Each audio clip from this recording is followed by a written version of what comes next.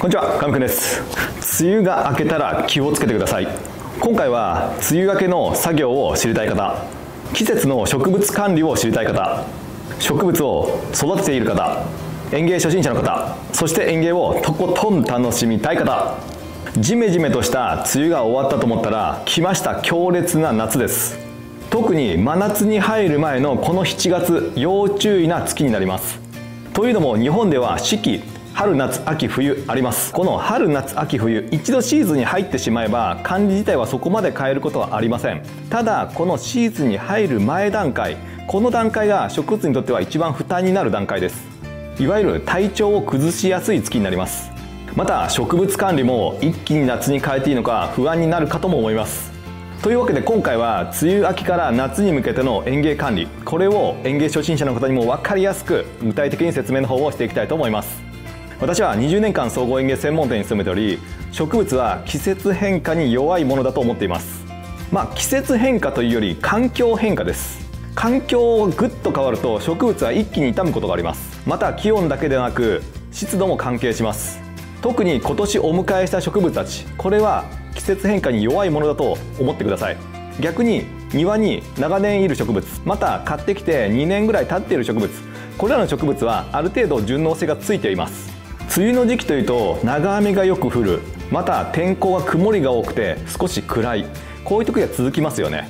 現在あなたが管理している植物調子はいかがでしょうか？梅雨を超えると一気に気温と日照量また湿度関係が変わってきます。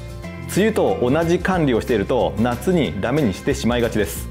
今回のポイントは夏場にやるべき作業こちらもお伝えするんですが夏前にやらない方がいいだろうっていう作業こちらをまずはお伝えしたいと思います。梅雨の終わりにやってはいけない作業こちらが大きくて3つあります。1つは植え替え2つ目はいきなり場所を変えない3つ目は日中の水やりこの3つです。ポイント1番目植え替えです。梅雨明けの植物の植え替えまたは植物の移動移植これは十分気をつけてください。実際問題この7月から8月にかけて植え替えを好む植物っていうのは限りなく少ないです。ほとんどの植物は苦手なものが多いと思ってください。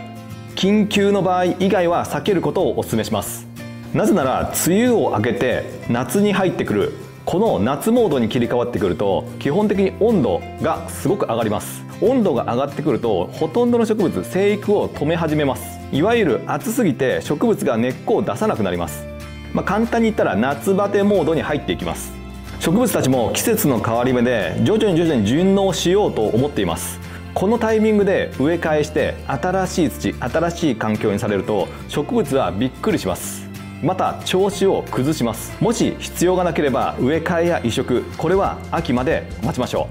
う。ポイント2番目いきなり場所を変えないこと。植物にとって育つ場所というのは最重要です。まあ、極端な話路地に植えている植物たちこれを移動することはできませんし移動はお勧めしません。ですので路地はしょうがないかなと思います。ただ鉢で管理されてる場合これは移動が簡単にできますよね。ということでこの鉢植え梅雨が明けたらどのようにしたらいいかここなんですけどポイントは一気に場所を変えないでほしいです。梅雨時期は少し曇りが続いてジメジメしています。植物たちは耐えて日光を求めています。そして梅雨が明けると一気にカンカンの日差しが戻ってきます。いや今まで暗かった太陽の光に思いっきり当ててあげようと言って場所を変える。こうするとどうなるか。大概の植物は日差しが強くて葉っぱが焼けてしまいます。いわゆる葉焼けという状態が起こりやすくなります。また直射日光が当たれば当たるほど鉢の中の水分は乾きます。1日でカラカラになるでしょう。水やりのタイミングも一気に難しくなります。ポイントですら梅雨明けしてもしばらくの間、まあ、1週間から10日ぐらいは位置をあまり変えない方がいいと思います、まあ、ただ午前中だけ当たるぐらいの日光量だったら問題はないかと思います。そして夏に強い日を欲しがる植物たち。こちらの植物たちは日を当てても結構です。梅雨明けの日光気をつけてください。ポイント3番目。日中の水やり。気温が高くなってくると日中に水をあげたくなりますが実際のところ植物は日中に水を求めていません。これからの季節特にできることなら午前中朝一に水やりをするのをお勧めします、まあ、具体的には9時ぐらいまでに全て終わっているとベストかなと思います。これは何かといったら植物は光合成というのをします。日光と二酸化炭素と水これを使います。そしてこの光合成一日中するかといったら一日中しますが極端に光合成をしている時間が変わります。ほとんどの植物は朝一太陽が昇ってきた時点から光合成を開始します。そしてこの午前中むしろ朝一ここが一番光合成量が多いとされます。朝一水を一番欲しがります。一番気持ちいい段階で1日分ぐらいの水を植物は体内に溜め込もうとします。そして日中気温が暑くなってくると午前中に蓄えた水を使って体内の温度を調節します。ですので人間みたいに日中に暑いからってガバガバ水は植物は逆に飲みません。飲めません。日中に水をあげたことによるデメリットの方が多いです。特に日中に水をかけてしまうとどうなるか。まず1つ目は蒸れ上がります。あげた水が湿度に変わります。湿度に弱い植物たちいわゆる高温多湿状態を作りやすくなります。高温多湿に弱い植物たち一気にやられてしまうことでしょう。また水が鉢の中に残る場合鉢の中でその水が温められてお湯になります。お湯になってしまうと根っこは傷んでしまいます。もし日中にどうしてもあげないといけない場合こういう場合もあると思います。その場合はなるべく日陰でお水をあげてください。そしてその日はずっと日陰で管理しておいてください。日当たりがいいところに出すのは次の日からです。というわけでここから先は植物ごとに梅雨明けの管理方法具体的に説明の方をしていきたいと思います。では早速いきましょう。はいというわけで梅雨明けの動画です。よろしくお願いします。しんぺさん。お願いします。さあ梅雨明けの植物管理っていうところなんですけど、はい、まあ、実際春夏秋冬春夏秋冬ってあって一番こう植物の管理が難しいのが夏とか冬もまあ難しいっちゃ難しいんだけどその変わり目が難しいんですよね。季節管理をしていくとやっぱどうしたらいいのかっていうのが結構ね水やりとか迷うと思うんですよ。っていうところで、まあ、今回そのつなぎ目っていうのかな。梅雨から夏に入ってくるまでの上手な管理方法っていうところで説明していくんですけど、まあ、大きくは地植えと鉢物っていうので分けたいなと思います。まずは地植えの方いきましょうか、まあ、路地植えに植えてある場合だともうどの季節なのかなかなか移植とか動かすっていうのが難しいと思うんですよね。特に動かせるとしたら春か秋なんです。で、まあ、団地地方だったらおすすめは秋です。秋であれば大概の植物の移植っていうのはそんなに植物負担にならずに動かすことができるんで、まあ、実際のところちょっと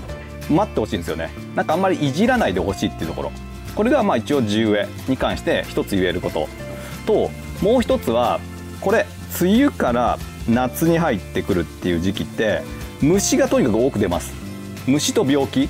真夏になると逆に止まります。どちらかというと。虫も病気も出る虫と出る病気の数種類っていうのかな。っていうのが限られてきて他の虫たちは暑すぎて活動をやめるんです。まだこの7月は虫さんたち病気にとっては出る季節発生しやすい。で特に産卵することが多いんで食べるっていうよりはどっか卵を産んじゃうとかっていうところを注意した方がいいかなと思いますんでまず1つ目やるべき作業としたら病害虫予防とかもうすでに多分いると思うんで病害虫退治っていうところ、まあ、ここを路地植えの方はちょっと意識してやってもらうといいかもしれません、まあ、特に路地ってなってくると、まあ、割と面積があるっていう感じだとは思うので使うお薬とか材料もコストパフォーマンスがいいようなものっていうところで使うのをお勧めします、まあ、いわゆる薬であったら原液を薄めて使うタイプみたいなものをお勧めします。というわけでいろいろお薬ありますけどこんな感じのものがいいんではないかっていうのを紹介したいと思います。こちらです。じゃん。というわけで原液の薬ですね。病害虫予防の回を今年出してあるんで春頃に。まあそちら詳しくいろいろな薬品出してますけどとりあえず原液タイプの殺虫剤と殺菌剤っていうのがあります。で原液タイプの殺虫殺菌剤っていうタイプは限りなくちょっと少ないんです今のところ。ベニカ X 乳剤かなんかっていうのは確かあったと思うんですけど実際売られてるものはもう殺虫剤か殺菌剤かみたいな感じのボトルで分かれてくると思います。で一番発生が多いかなと思うのはやっぱ虫なんですよ、まあ、病気も発生しないことはないんですけど、まあ、正直なところなんかバラはよくやっぱ病気にかかりやすいんですけどそれ以外の植物ってそんなに頻繁にじゃあ病気にかかるかといったらどちらかというと虫にやられる方の確率の方が多いので優先的には虫退治っていうのを優先するといいかなというふうに思いますというところで、まあ、ちょっと1個持ってきてみたのがこのオルチオンっていう薬ですね。でこのオルチオンっていう薬ここに書いてありますけどオルトランとスミチオの混合剤という記載があります。これ何かって言ったら2つの薬品が混ざってもうすでにミックスされた薬品っていうので非常に使い勝手がいい。オルトランはねよく皆さんご存知かもしれませんけど、まあ、吸収するっていう薬剤です。いわゆる植物に吸わせてそこから効果を出すんで予防剤としたらすごい最適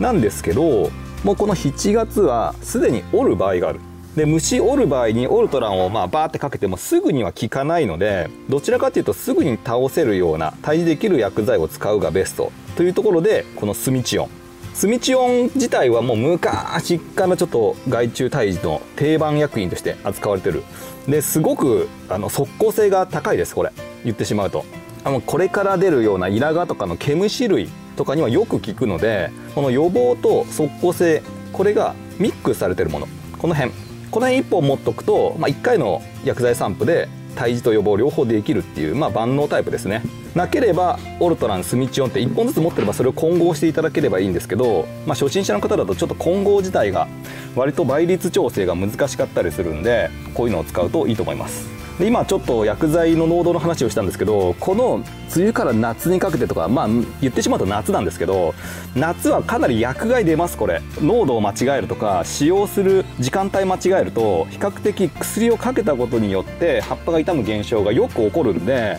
薬品使う場合はおすすめは朝一か夕方。でもしできれば夕方の方が僕はいいかなと思います。というのも大体の虫さんは夜行性とか涼しくなってくると出てくることが多いんで、まあ、その涼しくなってきた段階でかけてもらうとより効果的に効くんではというところですね。朝一って言ってもなんかちょっと人によってはどこが朝一かっていうのが分からなかったりとかやっぱ日光がもう夏になってくると9時10時でかなり強く当たってくるんで午前中とはいえちょっと濃度障害の心配があるかなと思いますんでできれば夕方散布をおすすめします。殺菌剤ですね。殺菌剤これ今箱のものを持ってきてみました。一応ボトルタイプの殺菌剤っていうのはもちろんあるんですけどただなんとなくですけどねこれは。僕の習慣なんですけどボトルタイプの特に殺菌剤って消費しきれない人が多いと思うんです。殺虫剤自体は割と頻繁に、まあ、虫が見えるんで虫が見たらあ虫がいるなって言ってかけるかけるんですよよく。ただ病気ってね分かんないですよね見た目が。よっぽどひどくならないと殺菌剤って使おうと多分しないと思うんですよね。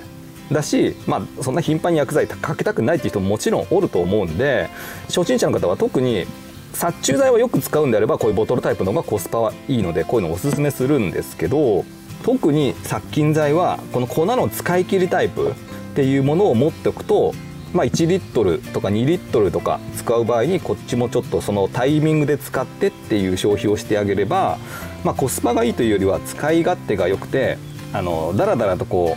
う何ていうのかな薬剤を残しておかなくてもいいっていう感じかな。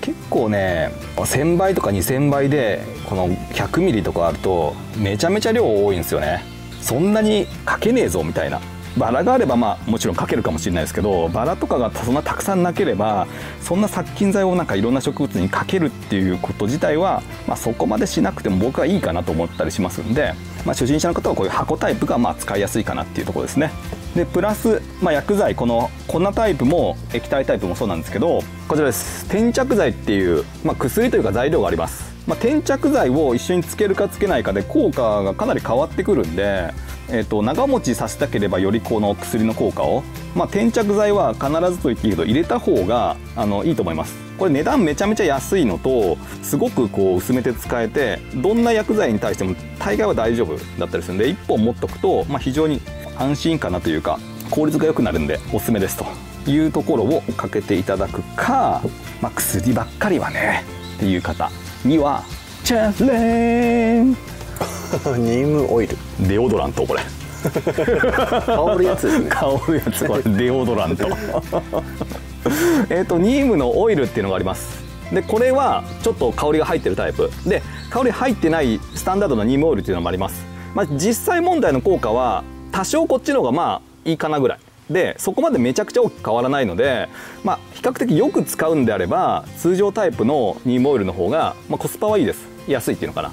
これニームプラスシトローネラっていう、まあ、香り成分つけてます、まあ、植物由来の香りなんで安心はできるんですけどシトロネラ自体が、まあ、虫に対しての忌避効果っていうのも割とあったりするんで、まあ、ニームプラスシトロネラで、まあ、こっちの方がまああの効きもいいって言えばやっぱいいしやった時のね香り感が違う。庭ってさ癒しの空間や。はい。で薬でいいいい香りがする薬ってさ未だかつてないのよね。うんうんうん。まあ、匂いがまあしないとかマースさんがたまにその香り付きでって出すんだけど、まあ、あれは薬かっていうとまあ薬じゃないものが多かったりするんで案外と普通の薬をバーって巻くとやっぱねちょっとね臭い匂いするんですよ。で近所の隣の人も迷惑やそうですね。ね。とか使ってるのもなんかちょっと罪悪感も出るしなんか他のなんかにかけたくないなってあるじゃん。かかっちゃうっていうのかなこうやって噴霧器でシャーってやってるとまあ洗濯物出してるってことはないと思うんですけどなんかいろいろ庭とか家の付近のものにかかっちゃうとなんか薬がかかって嫌だなみたいな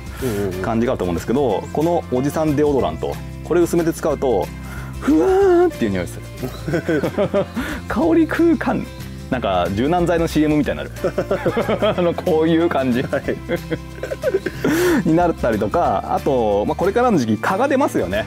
でこれ効果があるかっていうのはちょっと立証はできないんですけどシトノレラっていうのが割と蚊よけのあのハーブというのかな？っていうので材料で使われてたりっていうのが結構多かったりするんで、まあ、そういうのも見込めるかもしれないっていうところで、まあ、天然志向でやりたければ、まあ、このニームオイルあたりをかけるね巻くでこれも一応薬ではないんですけどそのかける時期時間帯これはねちょっと気をつけた方がいいです。これもやっぱりね日中にかけると薬ではないですけど薬害みたいな害出ます。具体的にはちょっと黒ずんできちゃうことがあったりするんでかけるのはやっぱり涼しい時間帯。まあ多分夕方ぐらいがやっぱいいかな。蚊も夕方ぐらいからバーって多分出だすと思いますんでできれば朝一。でできなければ夕方ぐらいですね。にこの病害虫予防退治の方を心がけていただくと路地植え管理の方はいいと思います。はい続きましてはお野菜ですね。お野菜この時期割と収穫時期であったりとかで畑とかで作ってる方多いと思います。でこの梅雨明けに、まあ、やった方がいい作業としたら特にですけど、まあ、こういう風に見てもらうと分かるんですけどだいたい下っ端の葉っぱっていうのが傷んできます。あいい見本がついてますね。梅雨の時期ってやっぱ雨がよく多かったりしてバシャバシャ降ってると思うんです。でこのように飛び散りね水がバーって雨が降った時に地面からの土が上がってきちゃうって感じ。はい。で土がこのようについてしまうとこっから病気の菌っていうのが上がってきやすくなるんですよね上に。ってなってくるんでできれば下っ端もう汚れてるものとかあとものによってはね伸びてきてこういうふうについてることがあるかもしれないその土に葉っぱが。この状態ってすごく良くないのでできればもう下っ端は取り除くとか黄色くなっちゃってるような葉っぱは風通しも含めてよいしょ。切っちゃうねこういう、こういうのをついてるとどんどんどんどん上がってきちゃうね。こういうふうに実が多分これ突き上がってきてるところだったと思うんですけどこういうふうにカビてきちゃうっていうのはね、こういう感じに野菜類になりやすいのと下っ端は切った方が通気性も良くなるんでそれからの育ちが良くなってきますんでね。割と取ってあげる。切ってあげるね。ことをお勧めしますね。よいしょ。汚い葉っぱは取る。取る。でちょっと一緒に見てもらって上の葉っぱも傷んでるところ。っていうのは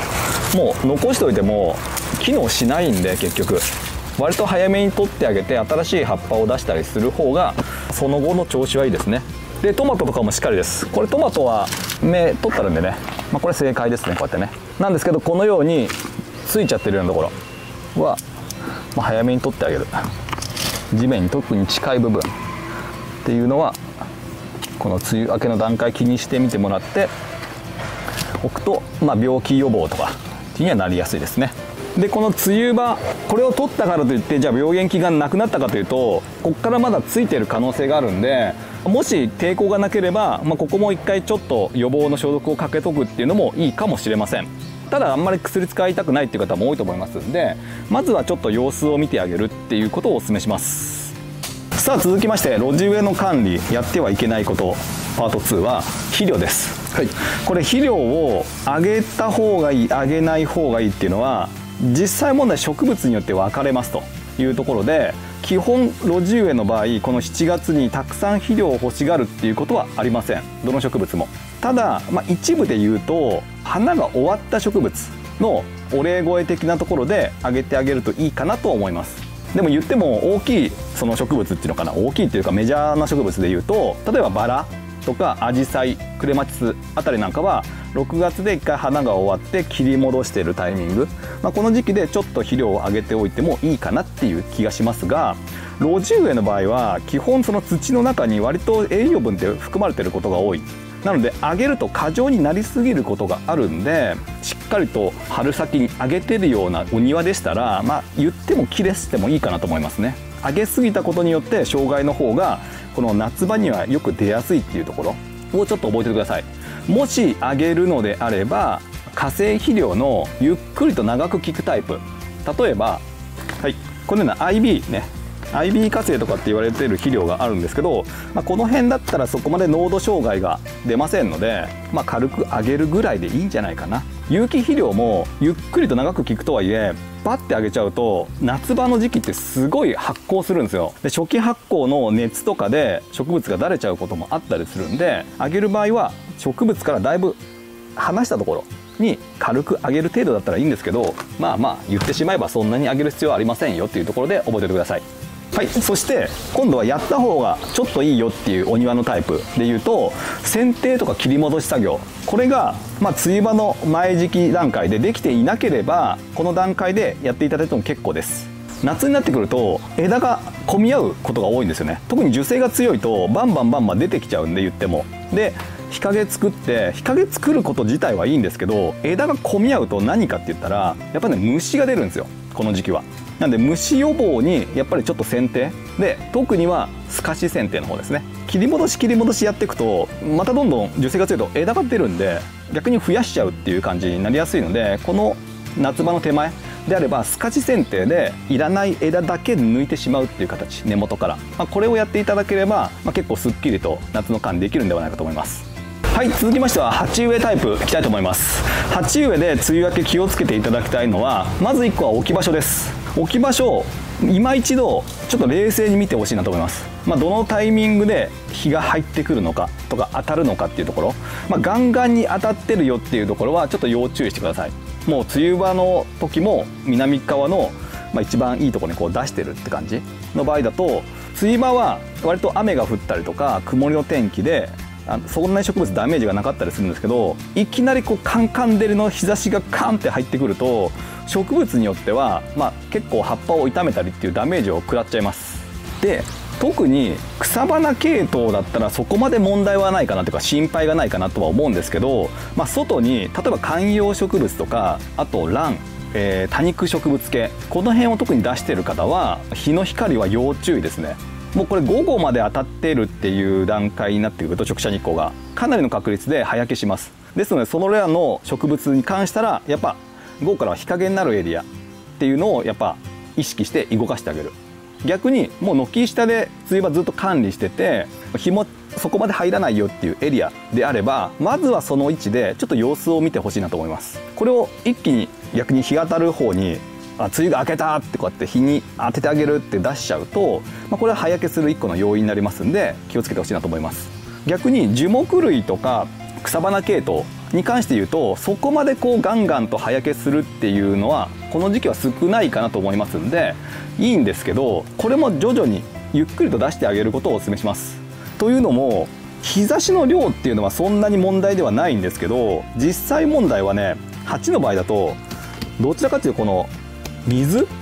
土に入ってる水分の量が日を受けてるか受けてないかでだいぶ変わるんですよね。とか一気に変わっちゃいます。植物管理に慣れてないとどのタイミングで水をあげたらいいかっていうのが分からなくなったり案外今まではあげなくても平気だったものが日を当てたことによってもう1日でくったりとなってしまうでそれを気づかずに次の日行ったらもう枯れてることがあるんですよね。っていうところで水やり管理がかなり難しくなってきてしまうんでちょっと不安である方は今の軒のね日陰をちょっと利用してでだんだんだんだんこうそれでも乾くようになるんで軒でも。で慣れてきて日光を欲しがる植物だったら、まあ、徐々に当ててってあげるっていう植物も鳴らすんだけど管理する側の感覚も鳴らすみたいな感じのスパンを設けた方がいいかなと思います。焦らずにまずは管理の方をしてください。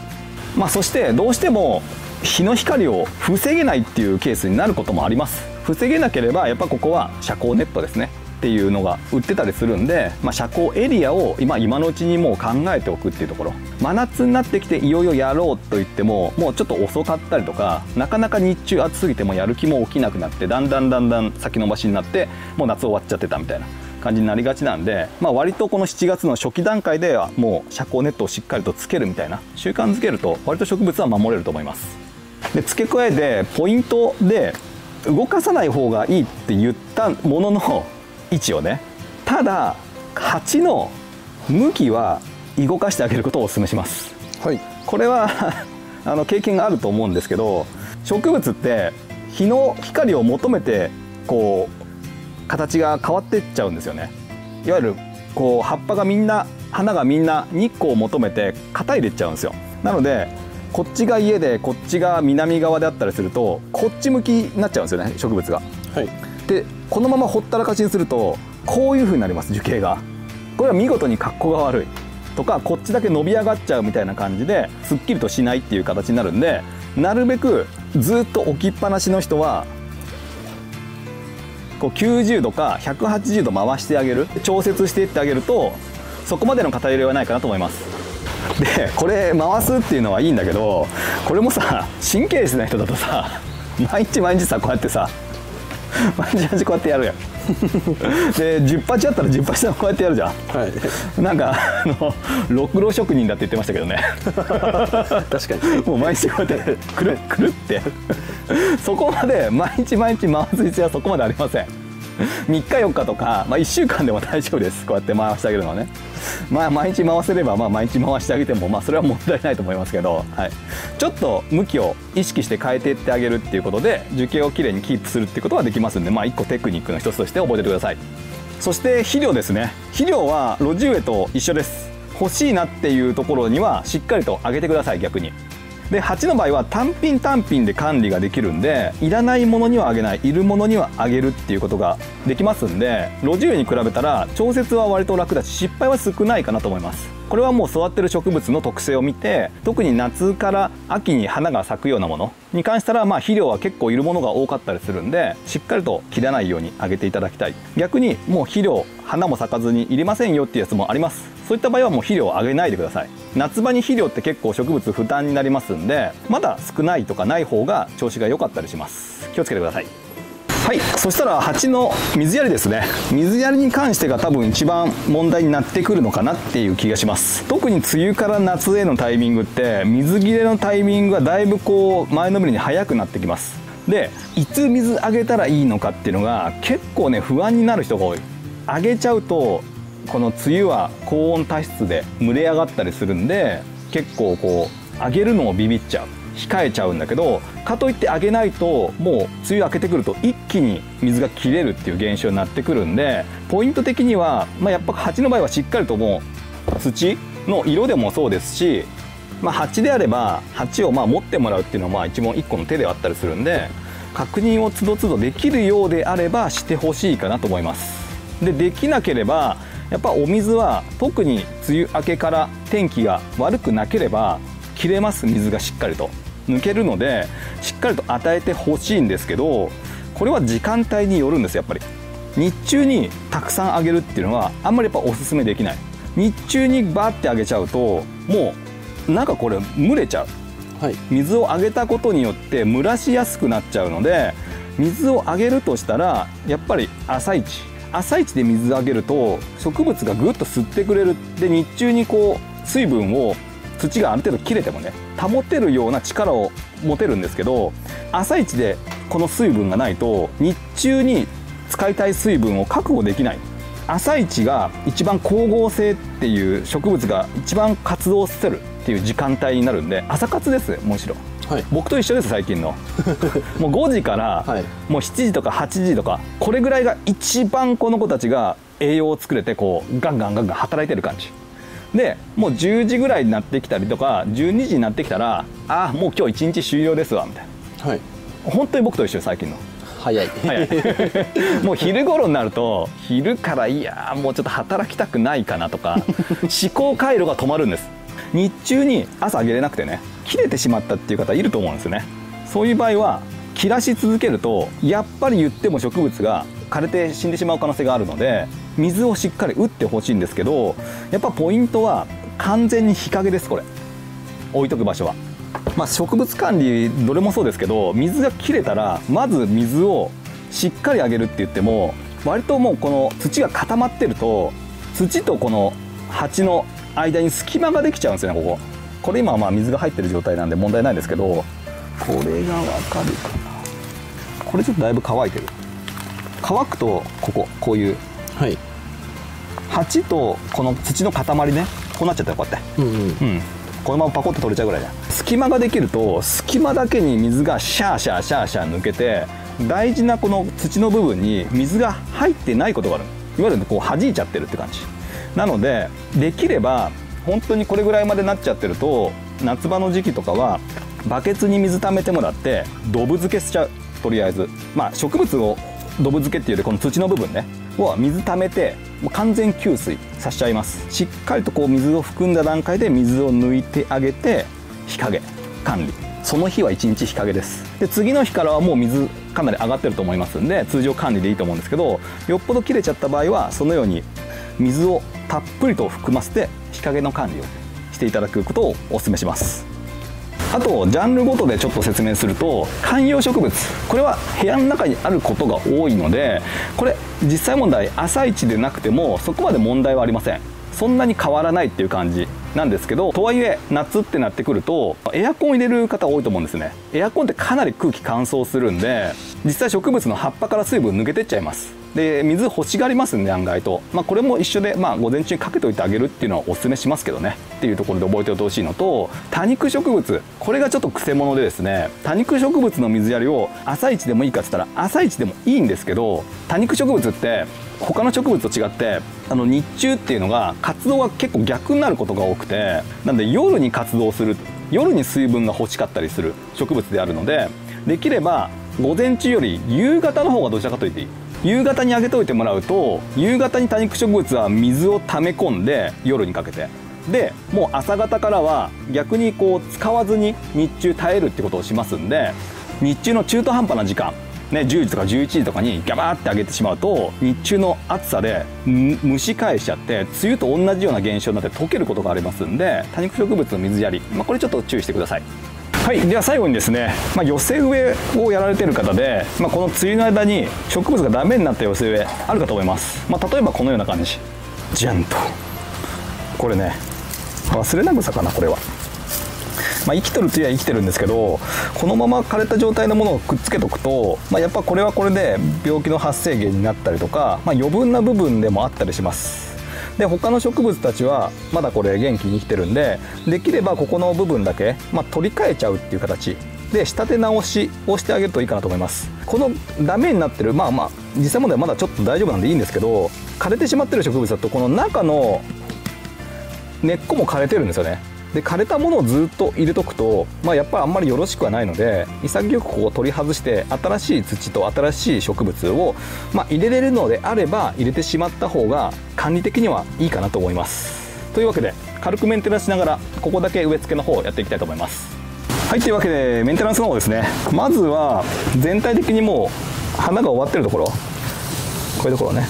は花の茎のところの先端の切り戻しをしてもらいながら枯れてるところですね。もうこれはちょ横か。これローダンセマムの方かな。枯れてるこういう枝が出てきたりします。で枯れ枝はつけておいてもいいことはないのでこの辺も根元からきれいに取り除くね。枯れ枝が邪魔になって通気性悪くすることもあったりとかしますんであとここから枯れ上がってきちゃう。病気の菌がくっついちゃうっていうことがあるんでね。枯れ枝と枯れ葉自体は、まあ、軽くでもいいのでちょっときれいにしておいてあげると夏に入ってくる段階ではねだいぶ風通しが良くなると思いますね。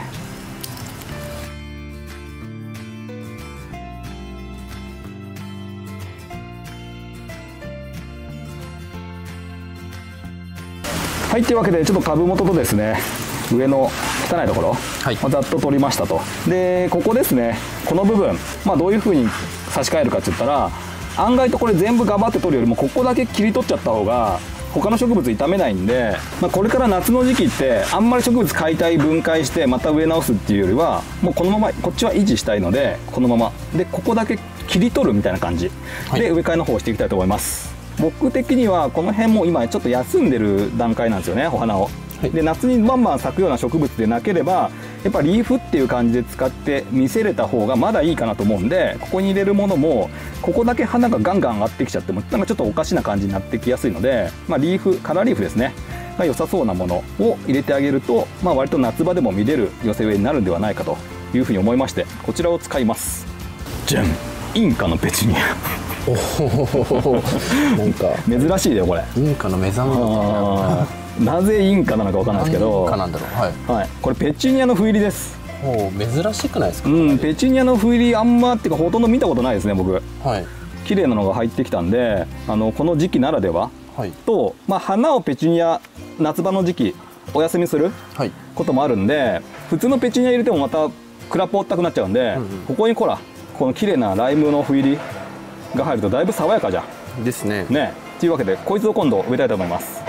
はい。まず解体いきましょうか、解体といっても切り取るだけなんで、あれなんですけどスコップでいいので使って切り取れるんですけどできればねこう細めはい。のタイプのスコップの方が切り取りやすいです。割とこの広めのスコップ持ってる方多いと思うんであれなんですけどこれぐらいの範囲だったら切り取れたりするんですけど細かいところを取る場合に結構この幅が広いと無駄にあの切ってしまうってことがあったりするんでこれはあくまで土入れたりとか使って寄せをよくやられる方はちょっと細めのを持っていってもらうとダイレクトにぐさっと行きたいところによしさせるって感じ？はい。っていうところでうわこれすごいね。何か知らんけどはい。根っこがすごい張ってる気がするこれ。硬そうですね。うん硬い。長年何かが生き続けてるのこれ このツルバキアかなこれ、はい。こっちがバキバキメキメキ言うもんね。出ますね。ね。なんで全部ここだけ解体して取ろうと思うとほんとぐっちゃぐちゃになっちゃうんで、はい。もうこれケーキ切り取るみたいに。はい。もうここだけね。最近行ってないなケーキバイキングとか。思い出しましたよ。取り取り分けてくれるじゃんこうやはって、い。じゃけーんっておはい中にあびっくりした。球根だと思ったらこれ八底の石ですねこれ。はい。八底の石です。はい。球根だと思った。でこれツルバキアのねやっぱはい。根っこがこうやって進出してっちゃいますと。いうところで、まあ、ここの切り取ったところだけ今回は詰めていきたいと思います。さあ入れる土。今日はねおっちゃんがなかったんでガーデンガーデンさんの土を使いましょう。はい。まあ必要な量だけなんでそんなにいりませんね。軽く入れてあげて特別赤玉とかを混ぜる必要もありません。ただこれいきましょう。チェレイン。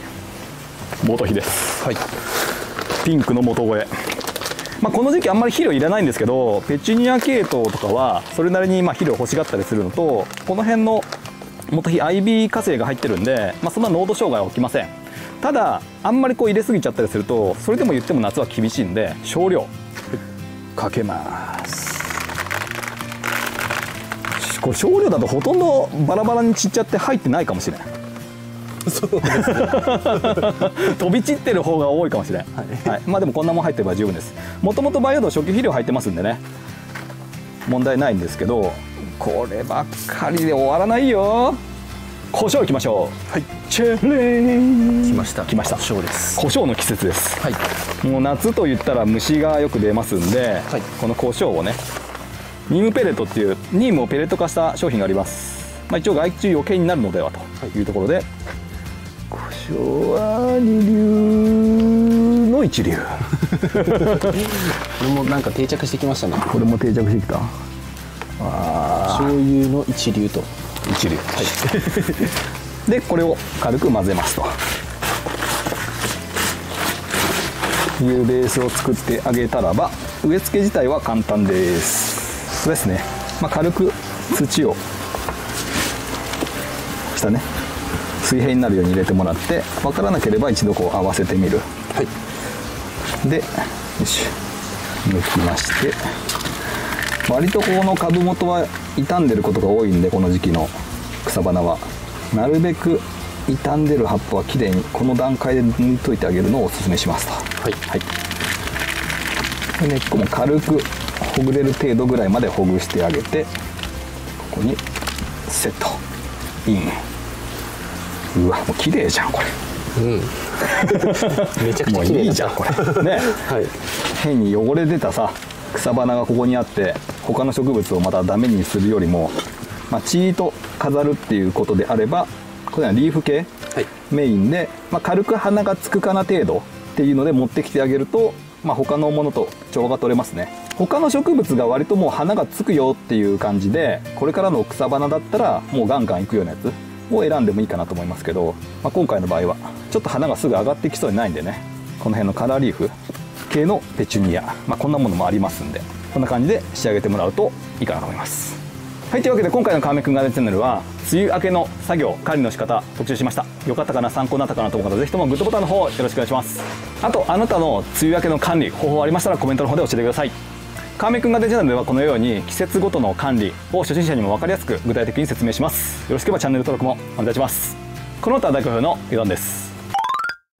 おまけトークユダンです。お疲れ様でした。お疲れ様でした。さて梅雨明けになりますね、はい。まあやっぱ植物管理この夏っていうのは結構きつい時期になります、まあ、ただですね、まあ、一回こういうもんだって慣れてしまったりとか、まあ、アイディアとか工夫っていうのも、まあ、コメントとか僕も動画でいろいろ出していきたいなと思いますんで、まあ、こればっかりは皆さんも辛いんですけど園芸店とか管理するお店も辛い時期ですこれ結構。はい。はい。なので、まあ、これはですねもう日本一丸となって夏越しこれやっていきましょうよ。みんなで夏越し。そう。みんなで夏越しでしょだって。で情報を共有すればさ、まあ、北から南まで、まあ、いろんな方法でアイディアでっていうのが出せるような時代にもなってきてるんでね、まあ、僕の動画を一個きっかけにしてもらってでもいいですし、はい、皆さんご協力をお願いいたします、まあ、今年の夏ね僕んちがちょっとリニューアルするんですよ。リフォーム。ああ今やってますもそんね。う。庭をリフォームするっていうより、はい。そのサンルーム的なルームを作るんですよ。はい。この字の。この字っていうのかな、うんうんうん。このこの字で枠組みを組んじゃうみたいな。だけどさこのクソ暑い夏にさサンルームってさかなりの地獄の 地獄の温室になっちゃうよね。ですよね。それがねめちゃくちゃ心配。でもこの時期しかできなかったですもんね。そう時期的にこの時期にしかできないっていうのとまあ言ってもさ夏場の温室内ってもう地獄みたいな感じなんで、まあ、まず僕は率先して夏越しまあどんだけ苦労するのかっていうのを身をもって体験しようかなとみたいな 自ら突っ込むんですね。ここで僕が夏越しちゃんとできるようになったら結構自信持って言えるんで、はい。ただ結構な確率でね枯らす可能性高いんですよ。それも環境変わるじゃん。今までの僕んちの夏と今年のそのルームの中の夏ってもうものすごい変わるんで、はい。まあ、植物たちが追いついていけるのかとか、まあ、管理の方が追いつけるのかっていうのがいろいろ試験とか試練がありますんで、まあ、ここは本当の気持ちを強く持ちつつですね、まあ、朝一のとにかく活動をあのメインに置いていただけるとガーデニングがいいかなと思いますんで早寝早起き皆さん一緒に寝ましょう。早く寝ましょう。コツはそこですね。そうコツは早く寝る。で神くんガーデンチャンネルを8時ぐらいからつけておいて部屋暗くすると大体9時には寝れます。よく寝れるチャンネルになってますんで、はい、ご活用ください。ではまた次回の動画でお会いいたしましょう。ご視聴ありがとうございました